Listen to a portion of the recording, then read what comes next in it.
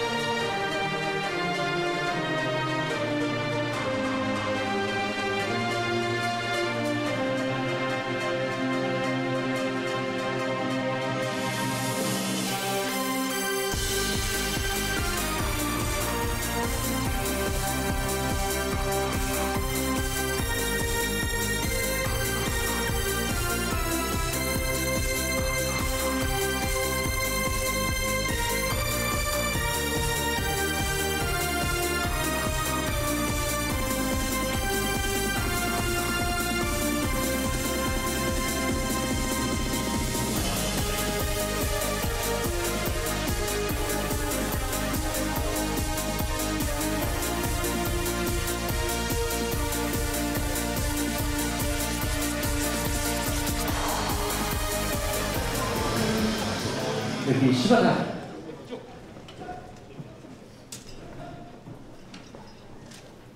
第1試合が始まります。ディープジュエルスストローキュアマチュア SP ルール。ここは3分2ラウンドの戦いです。赤いコスチュームが高本千代黒いコスチュームがアヌーク。この両者の戦いです。ラウンド第1ラウンドがおっと早速飛び蹴りで飛んでいったのは高本千代。いいですね蹴り。はい蹴り返すのアヌーク3分2ラウンドなんでやっぱりいったもん勝ちというか絶対、はい。まあ、時間が短いんで、絶対前に出て攻めた方がいいと思いますね、はい、さあどちらが主導権を握るかヌークのパンチが当たる。右足を前におっと滑ってしまった高本。抑え込みに行きますアヌークです。下からできそうな動きがあいいね下からそうですね攻め返すような全然嫌がってない下になることこれパウンドなしなんですかね。3分2ああ三ラウンドそう角危ないですよこれ、はい。これ足をしっかりロックされたら。はい。下からアヌーク長い足を絡めていく。この形危ない。ひ左の膝の裏にちゃんと右足を持ってこれたらこれ決まりますよ、まだ浅いんですけど、はい。形を少しずつ整えていく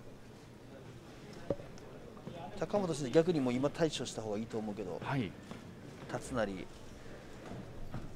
これ全然決めれますよ。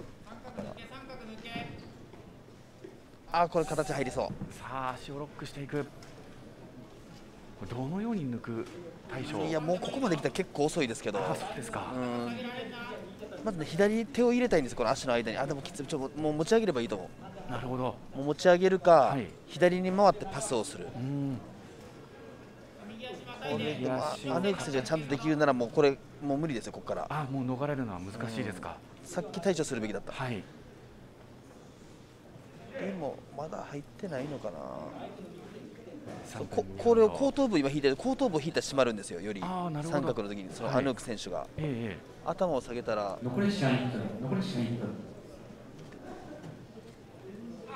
完全に形入ってますけどね。でもちょっと決めることができなさそうですけどねアヌーク選手も、どうにか位置をずらしていこうという高本なんですが。アヌーク選手からしたら相手の右手をはい。逆側に持ってきたいんですよ。あー。で後頭部引けば絶対決まるんですけど、はい。今右手が外にあるじゃないですか。ね。これを内側に流したいんですよ、はい。のがより決まるんですけど、まあこれまでも決まらないこともないです、はい。あこれでも決めれそうにないですねどうにか踏ん張って立ち上がりました高本。その右手を持っているアヌークです。しかし依然足はしっかりと組んでいるアヌーク。これ判定もあるんですかねこの試合も。アマチュア SP ルールっていうのが分かんないですけど、判定がありますね。あるんですね。はい。さあ間もなく第1ラウンド終了。第1ラウンド終了です。これで第1ラウンド終了となりましたなんとか高本をこらえきってというところで1ラウンドが終わりましたでもまあアヌーク選手がちゃんと決め方してたら絶対決まってましたけどねあれは。ちょっと対応ができてなかった三角のはい。ただそこまで行く流れというのはアヌークもしっかりうん。そうです練ね習の成果というところね、はいはいはい。形自体すごい良かったんですけど、うん。さあこの1ラウンドを踏まえてこの後の第2ラウンドです。両者ともに3月のディープジュエルスアマチュア大会勝利を収めている両名という形です。アヌークはオランダ出身のファイター高本千代はファイティングネクサスでも試合経験があります、高本選手これミッキーなんじゃないですかねはなんか左のパンチが全然使えない感じしましたけどねさっきの見見た感じ、あはい右のパンチはできるけどうん。あとやっぱ高本選手がパンチに慣れてない感じしましたね。なんかもう目をつぶっちゃうというかフ下に行っちゃったりするラウンんで打撃自体が。打撃自体がそんな慣れてない。左ミドルを蹴れるけど。はい。バックハンドブロー。高本が攻めていく。でも打撃でいった方がいい気がするけど、はい、前蹴り、そしてミドルキック、そこからあ組んでいく、形を持って崩していく、このパスしたいパはい。スできてる、で一回ちゃんと背中をつけたいですよね。うん高本選手は、はい、これギロチンちょっと危ないですけど。あうんオッケーオッケー。これも肩固めも狙えますし、あ、はい、バック。こバックを取っていく、れ決め切りたいですよこれ相手の顔を今右側にあるじゃないですか、ええ。あの高本選手。あこう左側に持ってきたいですね。ああ、逆なんですね。脳が締めやすいですおー嫌がるアヌークなんですが、バックを取るあーこれ。そから腕を取っていった、あっさり終わりましたねいやでも入りが出なかった。高本千代最後、鮮やかいやでね。ー最後うまかった。はい。この辺り、まあ、打撃に少しというお話ありましたけれど、はいはいはいはい。それをやはりこう組んでいくところに自信があってという戦いですね。すごいなんか充実をちゃんとしてるなっていうはい。動きでしたね。下になっても嫌がってないし、ええう対するアヌークも1ラウンドいいところを見せましたね。ん、よかったですけどね、はい。アヌーク選手も全然良かったけど、うん。だから三角やっぱか形さえしてたら決まってましたよ、あれは。はい、あともう一つ、もう一つ、はい、